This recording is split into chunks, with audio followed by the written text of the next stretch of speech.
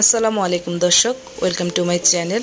আজ আমি আপনাদের সাথে শেয়ার করব ইনস্ট্যান্ট টক দই। কি ঘনত্বটা দেখেছেন দইয়ের? চলুন দেখে নিই এর প্রস্তুত প্রণালী।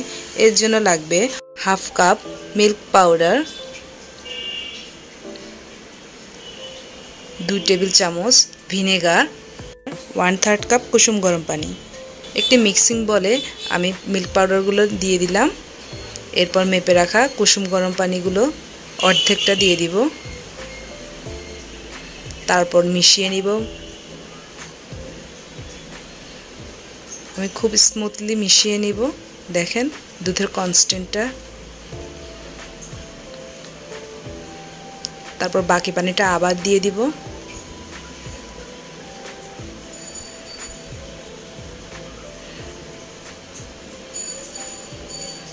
দেখেন, দুধের ঘনত্বটা কেমন হবে?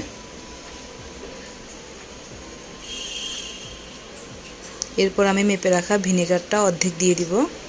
আবার মিশিয়ে নিব।